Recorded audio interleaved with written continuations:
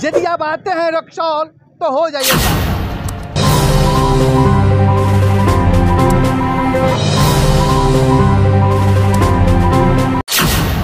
अगर आप तीन आदमी बैठकर आते हैं या बगैर ड्राइविंग लाइसेंस का या बगैर कागज़ पत्र का आते हैं तो फाइन देने के लिए तैयार रहिए। क्योंकि ज़्यादातर लोग मार्केट में आने के लिए तीन आदमी बैठ जाते हैं और बैठने के बाद जब जैसे ही आप रक्सौल में आइएगा, कहीं भी किसी भी चौक पे तो आपका चालान कट सकता है। इसलिए आप लोग सावधान हो जाइए और पूरे कागज़ पत्र के साथ आप लोग आइए और साथ में अगर आप टेंपू चलाते हैं ई रिक्शा चलाते हैं और बैठने वाली गाड़ी है और उस पर ओवरलोडिंग कर कर आते हैं किसी वस्तु को लाद कर आते हैं फिर भी आपका चालान काट दिया जाएगा। तो तीन जाने बैठ गए थे ना तीन इसीलिए। तीन आदमी बैठ कर आते हैं? नहीं हॉस्पिटल में थोड़ा गए थे ना एक जाने से वेट करने के लिए आए थे तो। इसीलिए हमको जाना है बीरगंज इसीलिए।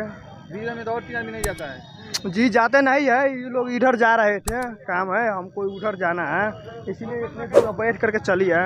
अब हेलमेट हाथ में क्यों लेकर चल रहे बताइए। सर अभी जस्ट निकाले हुए हैं अभी जस्ट क्यों निकाल निकालने के लिए थोड़ी आए हो? लगा रहे हैं सर अभी। मतलब यहाँ भी के सुरक्षा के लिए सारा लोग लगे हैं। हैं? हाँ, हाँ, देखिए। तो काम ना करो लोग। देखिए अभी भी सिस्टम में चलिए। हेलमेट लगाइएगा आपकी सुरक्षा होगी। अभी कुछ देर पहले नकरदही में घटना हुई है, जिसमें दो तीन आदमी मर चुके हैं। हेलमेट आपकी सुरक्षा है, और इसके लिए हम लोग आपको ताकीद दे रहे हैं कि हेलमेट लगा के चलिए। देखिए, यही वह जगह है कि जाम लगा रहता था, और यह जो समय है, ग्यारह, बारह बजे का जो समय है, इस जगह पूरा जाम लगा रहता था। लेकिन आज देखिए, जाम मुक्त हो गया है रक्सौल। कहीं भी जाम दिख नहीं रहा है। और देखिए सारे लोग आ रहे हैं तो यहाँ पे हवा हवा इधर उधर लगाया करते थे लेकिन लेकिन देखिए कोई यहाँ पे रोक नहीं रहा है। सारे लोग अब बस आ रहे हैं और जा रहे हैं। देखिए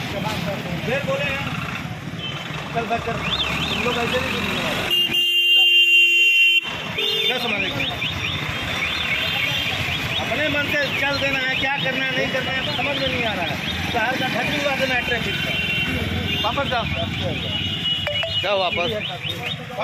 देखिए, हमारे एस मैडम के द्वारा आदेशित किया गया पत्र दिया तो अगले आदेश तक हम लोग फिर सड़क सुरक्षा अभियान चला रहे हैं, जिसमें जाम की समस्या से पूरा निजात दिला दिया गया है। आप देख सकते हैं, कहीं भी जाम नहीं है, और यह अभियान चलेगा, और इसमें जो भी लोग बिना हेलमेट के चल रहे हैं, पहले तो बहुत बार समझाया गया है, और अभी लोग को फाइन किया जा रहा है। और ओवरलोड ओवरलोड गाड़ियों को हैं अ, मतलब बैठने वाली सवारी गाड़ी है टेंपो अच्छा कार्टून कार्टून लाद देता है? कार्टून ला देता है कार्टून गाड़ी के अंदर रहेगा उसको हम लोग सीमित छोड़ देते हैं ओवरलोडिंग में अगर जाता है तो उसको हम लोग देख करके फाइन करते हैं सुझाव यही दिया जा रहा है कि जिनके पास गाड़ी का पेपर देखा जा रहा है जो हेलमेट नहीं पहना जैसे गए रोको उसको तो जो बच्चे या जो भी लोग सड़क सुरक्षा का जो भी नियम है पालन नहीं कर रहे हैं उनका चलान हो रहा है।